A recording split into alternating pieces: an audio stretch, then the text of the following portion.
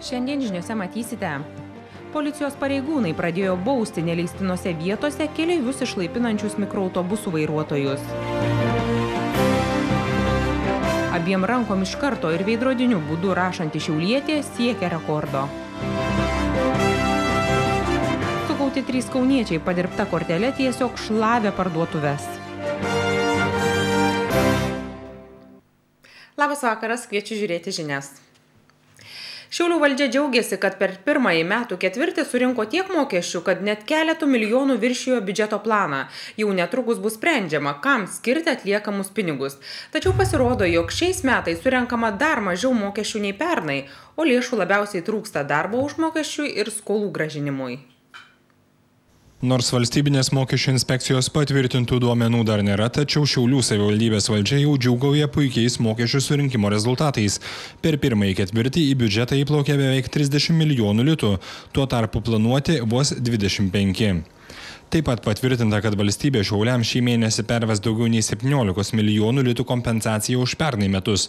Susidariusi įspūdinga suma neduoda ramybės politikams ir valdininkams. Šį mėnesį bus sprendžiama, ką su ją daryti. Tačiau pripažįstama, kad situacija netokia jau gera, kaip iš šalies gali pasirodyti. Nors biudžetas ir viršijamas, tačiau savivaldybė iki šiol neapmokėjusi skolų už miesto priežiūrą, bet to trūksta lėšų šiųmetinėms biudžetininkų algoms. Pinigai, apie kuriuos kalbate, tai yra vyriausybės paskirti 17 milijonų su trupučiu litų, jie bus tarybos sprendimu perskirstyti. Pagrindinės įpareigojimas yra kreditoriniams skoloms dengti ir darbo užmokesčio fondui taip pat papildyti. Tačiau kuriam laikui užteks šios milijoninės biudžeto injekcijos neaišku, nepaisant to, jog biudžetas viršijamas mokesčių surinkimo prasme, pirmasis šių metų ketvirtis prastesnis už pernykštį. Realūs pinigai tikrai yra tokie didesni nei suplanuota, tai yra realūs, kiek gavome, viršėme 5 milijonus litų, bet lyginant su praeitų metų pirmų ketvirčių, tai yra sumažėjimas. Vien gyventojų pajamų mokesčio per pirmus 2009 mėnesius surinkta 24 milijonai, šiemet 2 milijonais litų mažiau. Maršrutinių taksi vairuotojai keleiviams prašant sustoja bet kur ir taip rizikuoja būti nubausti. Kelių eismo reikalavimai esą pažeidžiami ne iš blogos valios, o tik keleivių patogumui. Tuo tarpu policijos pareigūnai taisyklių nepaisančius vairuotojus ir toliau žada bausti nemenkomis baudomis. Nors prie draudžiamųjų ženklų sustoti draudžiama, maršrutinių taksi vairuotojai neretai taisyklės ignoruoja. Tačiau sako, tai dara ne iš piktos valios, o tik keleivių patogumui. Aušros alėja šalia centrinės turgavietės tapo ta vieta, kada vairuotojai ypač rizikuoja būti nubausti. Kitu atveju tikina prarasantis klientus darbą ir taip papildysiantys bedarbių gretas visi eina į turgų, perka e, kiaušinius, perka silkę ir taip toliau. Visą laiką sustodavom e, prie turgaus vartų, aušros alėjai, e, bet tenais yra ženklas draudžiama sustoti. Įpratę žmonės tenai sustoti. Prašau, dabar senutė vežiau iš vijolių, tokia sulinkusi, net pat, pat žemės, prie turgos prašė sustoti, o važiavo policija iš paskos ir negalėjau sustoti. Sustojau žmogų paimti, išleisti, močiutės paimti. Nubaudė. Nes dabar įstatymas toks, kad nebegalim sustoti prie ženklų. Seniau kažkada buvo prieš porą metų, kad galėdom sustoti prie tų ženklų, o dabar nebegalim. Už tada baudžiam esam. Žmonės irgi dabar, kodėl nestuojat, sakom, negalim, mat nebevažiuosim. Tuo tarpu policijos pareigūnai sako, kad maršrutinių taksi vairuotojų atžvilgių kontrolę tenka griežtinti. Mat keleivius išleisdami ar paimdami neleistinose vietose neužtikrina nei savo, nei važiuojančiųjų saugumo. O susidariusią problemą siūlo spręsti civilizuotai, nepažeidžiant kelių eismo taisyklių reikalavimų. Reikėtų kreiptis į Šiulių miesto savivaldybę, infrastruktūros skyrių, saugaus eismo komisiją, kur būt gal komisija ir priimtų sprendimą tokį leisti išimtinės tvarka maršrutinių mikroautobusų vairuotojams vienoje kitoje vietoje paimti ar išlaipinti keleivius. O ne taip, kada nori, kur nori, nes nerodami posūkius staigiai stabdo, sukelia avarinės situacijas. Tikrai jų vairavimo pasiekmes yra, įvyksta, ko pasiekoje įvyksta daug techninių eismo įvykių. Tai bausit? Taip. Pasak policijos pareigūnų, maršrutiniai taksi akilai būsė stebimi visą mėnesį. Pagal administracinės teisės pažeidimų kodeksą už draudžiamų kelio ženklų nepaisimą, vairuotojams grėsia bauda nuo 100 iki 200 litų. Daugiabučių namų kiemuose netrukus bus iškelti inkilai.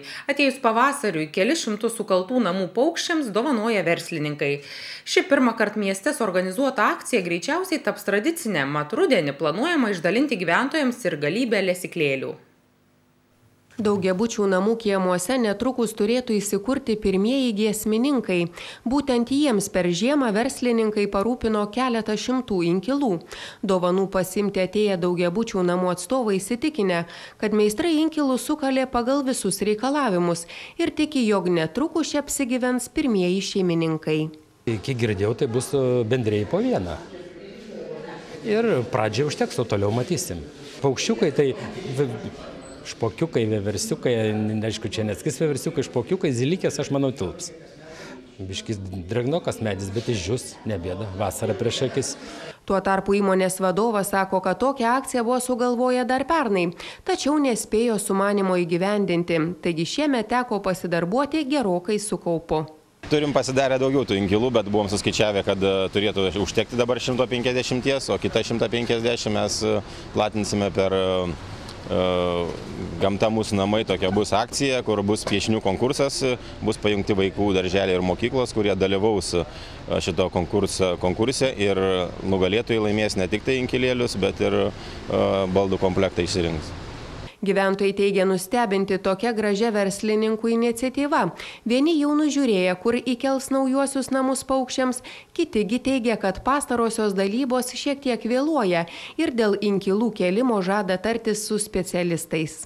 Mes turim pagal krepšinio aikštelę nemažai medžių, bet to inkilėlių pas mus jau yra ir jau paukščiukai pas mus gyvena.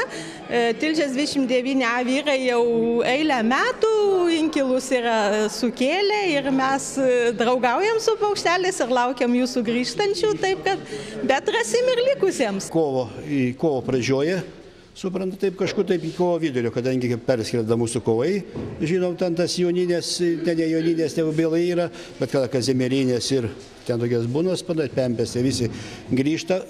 Tai va tai skaičiai buvo laikas, dabar jau kažkaip kelti. Ne, labai abejoju. Galbūt vežti mišką. Keliolika inkilų planuojama iškelti ir Salduvės parke. Ši pirmą kartą suorganizuota akcija ateityje turėtų tapti tradicinė, mat organizatorių teigimų jau gautas verslininkų pažadas, kad rudenį miestiečiams bus dalinama ir šimtai lesiklėlių. Visoje šalyje minima saugaus eismo diena. Šiauliuose šią dieną policijos pareigūnai didžiausiai dėmesį skyrė mažiesiems eismo dalyviams. Juos ragino laikytis kelių eismo taisyklių, demonstravo savo techniką ir įvairias priemonės. Pavasarį eismas keliuose ir gatvėse suintensyvėja, daugėja dviratininkų ir pėsčiųjų. Būtent šiuo metų laiku dažnai avarinės situacijas sukelia vaikai. Todėl kasmet balandžio 6-ąją minint saugaus eismo dieną rengiamos auklėjamosios akcijos. Música Šiandien Šiaulių miesto prisikėlimo aikštėje nuo pat ryto policijos pareigūnai gyventojams demonstravo saugaus eismo priemonės. Šiauliečiai galėjo įsitikinti saugos diržų efektyvumu, išbandyti ir pajusti, kas grėsia vairuotojui ar keleiviui virstant automobiliui. Pasak Šiaulių apskrities vyriausiojo policijos komisariato viršininko, keletą metų organizuojami tokie renginiai visuomeniai jau davė gerų rezultatų. Čia dalyvauja vaikai. Ir jeigu pasižiūrėtume į vaikus, kurie kaip jie elgesi gatvėje, kaip važinėja su dviračiais ir suaugusius dalyvius, kad jau dėvi ir atšvaistus, ir su dviračiais važinėja su lemenėm, ir tai, kad mažėja kelių eismo taisyklių pažeidimų susijusių su diržų naudojimu, kad vis daugiau vairuotojų nu, dėvi diržus vairuodami automobilius. Na, aš manau, kad tai yra didžiulė nauda. Daugelį šiauliečių šis renginys tapo smagia pramoga. Labiausiai pareigūnų darbų ir demonstruojamomis saugaus eismo priemonėmis žavėjosi mažieji šiauliečiai. Labiausiai gal patiko motociklai, automobiliai. Žinojom, ką ką reiškia saugos diržai, kad jeigu be jų važiuosi, gali baigtis blogai. Sužinosi, kad būtinai reikia saugos diržą ir su atšvaistais vaikščioti, kad nenutrankt mašinas. Saugaus eismo dieną surinktos šventės metu dalyviai namus skirstėsi apdovanoti atšvaitais, lankstinukais, knygelėmis. Vidurdienį prisikėlimo aikštė atžygiavo ir miesto pučiamųjų orkestras. Renginį vainikavo jų surengtas koncertas. Šiauliuose moteris siekė rašymo abiem rankomis rekordo. Šiaulietė ant stiklo dvi minutės abiem rankom ir keturiais rašikliais rašė diktuojamą tekstą. Moteris sako, kad talentą rašyti abiem rankomis iš karto ir veidrodiniu būdu savyje atrado dar vaikystėje. Šiaulietė Juratė Ščiglienė, draugų, žurnalistų ir rekordą fiksuojančių žmonių akivaizdoje dvi minutės rašė iš karto keturiais rašikliais. Vieną ranką rašė tekstai prastai, kitą veidrodiškai, tai yra į priešingą pusę. Per dvi minutės rekordą fiksuojanti Šiaulietė parašė tekstą iš 18 žodžių. Išeina, kad keturiais rašikliais parašė 72 žodžius. Tai yra 488 simbolius, iš kurių vienas kablelis ir vienas taškas. Įdomiojo rašto žinovė sako, šį savo talentą rašyti abiem rankomis jie atrado vaikystėje, kai ją kairę rankę mokytojai privertė rašyti dešinę. Aš gimiau tokia. Aš visada ėmiau viską kairę ranką ir absoliučiai darau viską kairę ranką, esu kairę rankę. Veidrodiniu raštu rašanti moteris šį renginį suorganizavo, kad pradžiugintų save ir kitus, bei užfiksuotų rekordą. Duomenys išsiunčiami į rekordus fiksuojančią agentūrą. Pone Juratė sako, skaičiusi dar apie vieną moterį, kuri rašo aštuoniais skirtingais būdais. Šiaulietė Juratė užsibrėžė pagerinti visus rekordus - rašymo iš lapo vidurio į kraštus, iš kraštų į vidurį, apverstomis raidėmis ir panašiai. Pirmasis viešas Šiaulietės įdomiojo rašymo bandymas ant arenos lango lango bus palikta žmonėms pasigrožėti neįprastų talentų. Moteris sako, kad jos aštuonmetė dukra abiem rankom iš karto jau moka piešti. Antrąją Velykų dieną Šiaulių tarptautinis muzikos festivalis Resurrexit oficialiai paskelbtas atidarytų. 27-asis festivalis pradėtas šeimininkų valstybinio kamerinio choro polifonija koncertų. Įspūdinga originali programa kurta draugė su žinomais muzikais Kristina bei Tomu Griciais. Nors pirmieji tradicinio Šiaulių tarptautinio muzikos festivalio Resurrexit koncertai nuskambėjo pirmąją Velykų dieną, į oficialų atidarimo renginį klausytojai kviesti vakar.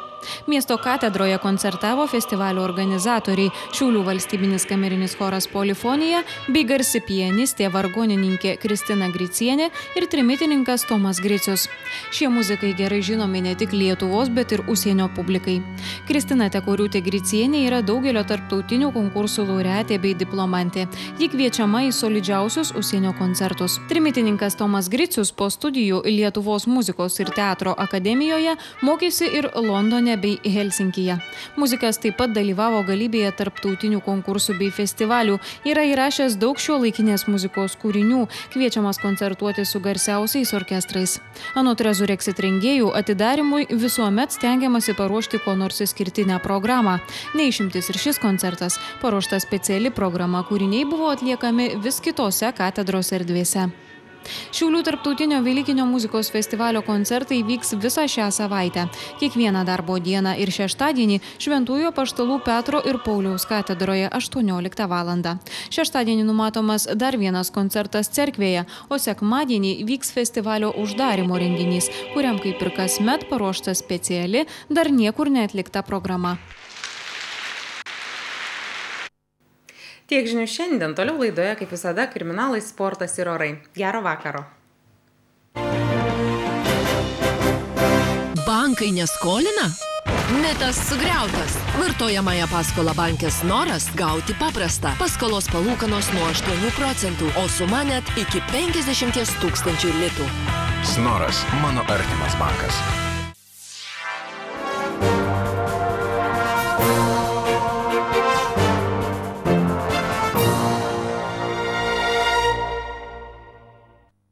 Trys netikra mokėjimo kortelė Šiauliuose gausiai apsipirkę kauniečiai sulaikyti jų gimtajame mieste.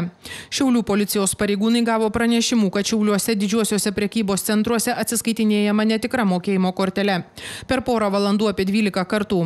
Sukčiai pirko daug maisto, brangių alkoholinių gėrimų, cigarečių, drabužių, maždaug už 5000 litų. Nustatyta, kad vagis važinėja automobiliu Audi A6. Kaune šis automobilis rastas kimšte prikimštas maišų su pirkiniais. Čia pat rasta ir padirbtoji mokėjimo kortelė.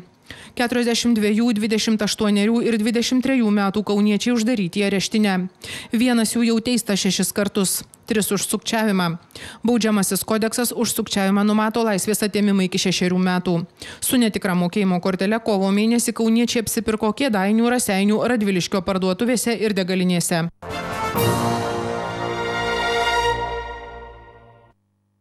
Šiauliuose išpolis prieš gyvūną kad sužeistas jų šunelis šiauliečiai pastebėjo, kai kraujuojantis gyvūnėlis atsliūkino pagalbos. Apžiūrėjusi iš skausmo cypiantį šuniuką, jo šeimininkė pastebėjo žaizdas kaktoje ir šone. Sužeistas šuo tuoj pat nuvežtas veterinarui. Teko daryti operaciją. Iš galvos, šono ir letenos išimti šratukus primenantys šaudmenys. Veterinaras mano, kad pabėgti negalėjęs šuo buvo tyčia kankinamas. Gyvūnas greičiausiai bandė slėptis nuo šūvių, o kankintojai šovė kelis kartus. Mišrūno šeimininkė parsivežusi išoperuotą šunį namo pastebėjo, kad šauta ir į mašiną stovinčią jos kieme. Brolio automobiliui suskaldytas stiklas. Šiaulietė sako gyvenanti kukliai priešų neturinti. Nu, kažkas matyt prisigėręs, pakvailiojo. Nes blaivus taip nedaro. O gal tas gyvulėlis buvo kažkam įkyrėjęs? Nu, tai kaip jisai, čia šiuo momentu jisai paris buvo, jisai niekur nenuėjo nuo durų. Šiaulietė netiki, kad kažkas galėjo keršyti už šuns išdaigas. Esą trys namie laikomi nedideli mišrūnai niekam žalos nėra padarę. Du pririšti prie būdos, o nukentėjusi šunį paaugliai sūnus laikė kambaryje. Į lauką gyvūnas buvo išleidžiamas tik trumpam. Apšaudytas buvo, kai pusvalandžiui buvo pririštas laukia ir čia laukė grįžtančių šeimininkų. Apie žiaurų elgesį su gyvūnu pranešta policijai. Seimas po svarstymo yra pritaręs baudžiamojo kodekso pataisoms, numatančioms už žiaurų elgesį su gyvūnais įkalinimą iki pusantrų metų.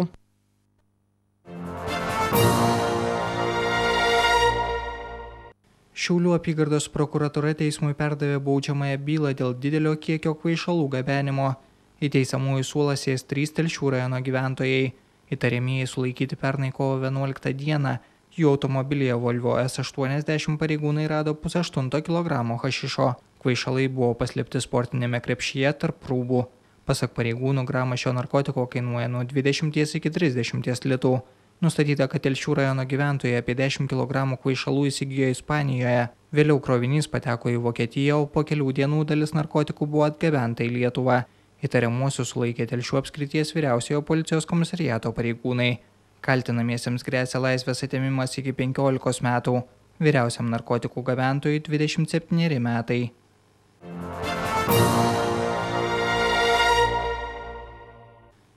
Pirmadienio naktį Šiauliuose architektų gatvėje sudegė šešerių metų senumo lengvasis automobilis Volvo E60. Gaisrą apie ketvirtą valandą ryto pastebėjo daugiabučio gyventojai. Mašinos savininkas nelemtą naktį buvo išvykęs. Atskubėjus ugnegesiams Volvo salonas skendėjo liepsnuose, nors ugnis sutramdyta per kelias minutės, tačiau liepsnos mašina suniokojo nepataisomai. Gaisro padaryta žala galėjo būti dar didesnė laimė, kitų automobilių šalia nebuvo. Pirminiais duomenimis gaisras kilo salone dėl elektros instaliacijos gedimo. Įvykio aplinkybės tyriamos. Ar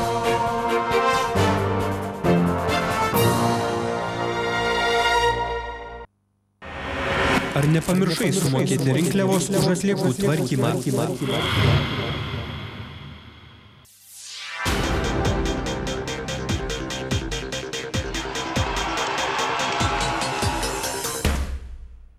Šiaulių futbolo klubas šventinis savaitgalis žaidė dviejas rungtynes. Šeštadienį Marijampolės futbolo manėžė komanda Šiauliai žaidė Lietuvos futbolo A lygos rungtynes su Gargždų banga ir iškovojo pirmąją pergalę čempionate rezultatu 1-0.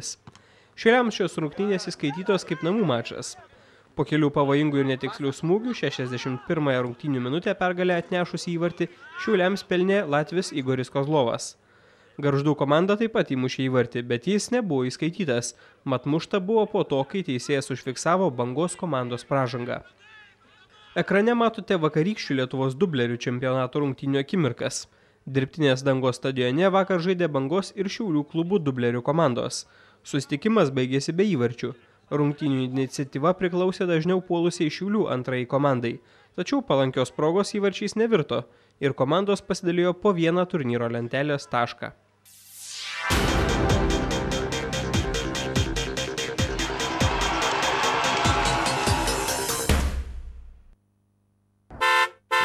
Užtrukai kur nors ir nori pigiai namo sugrįžti, šiandien nevairuoji ar nenori paklysti, pati geriausia išeitis. Taksi 1453.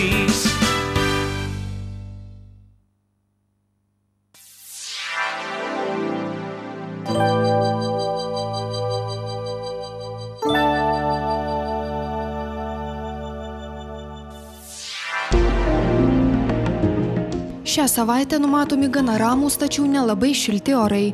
Ateinančią naktį termometrai rodys apie 5 laipsnius šilumos. Trečiadienį bus nepastoviai debesuota, žymesnio lietaus nenumatoma. Oras sušils iki 11 laipsnių, pus nestiprus šiaurės šiaurės rytų vėjas.